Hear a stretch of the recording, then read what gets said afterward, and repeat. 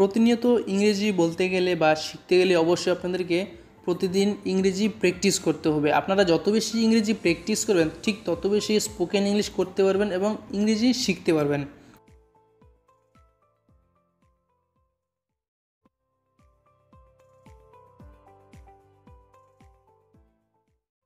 She is an intelligent girl সে একজন বুদ্ধিমান মেয়ে। ইট ওয়াজ ভেরি ডিফিকাল্ট এটা খুব কঠিন ছিল। ইট ইজ নিয়ারলি মিডনাইট এখন প্রায় মধ্যরাত। May I use your pen আমি কি আপনার কলম ব্যবহার করতে পারি? What book are you reading now আপনি এখন কোন বই পড়ছেন? This is quite difficult to get a job right now এখন একটি কাজ পাওয়া খুবই কঠিন।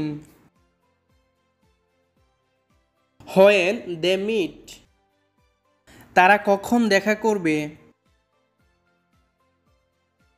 I want this T shirt আমি এই টি শার্ট চাই।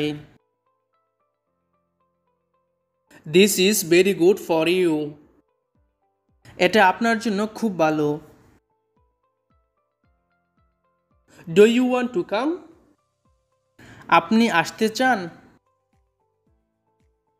Let us go by train আমাদের ট্রেনে যেতে দিন।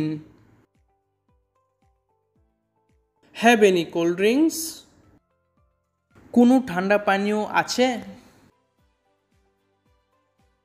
What are you looking for? আপনি কি খুঁজছেন?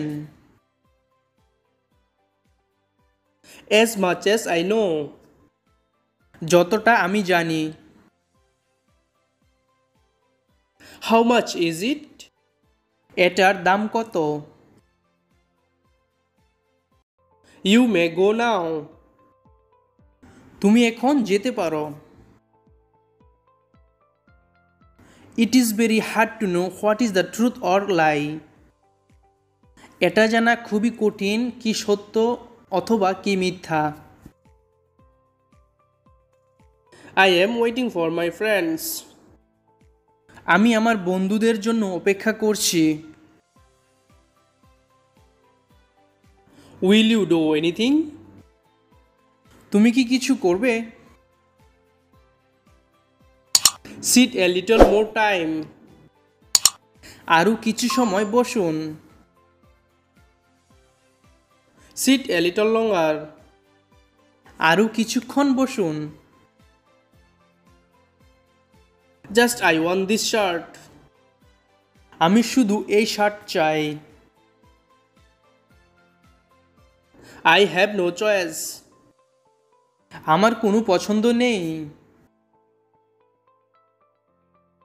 গুড টু সি ইউ তোমাকে দেখে ভালো লাগল।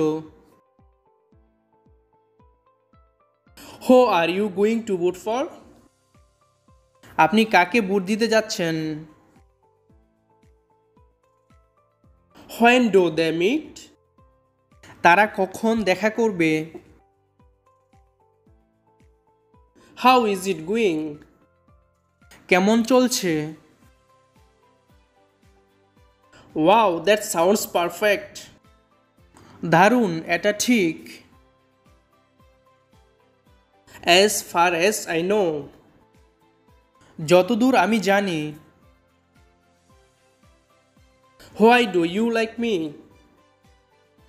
তুমি কেন আমাকে পছন্দ করো? I don't have an extra book আমার কাছে অতিরিক্ত বই নেই। Well allow me to go আমাকে যেতে অনুমতি দিন। It is time to get up এটা উঠার সময়।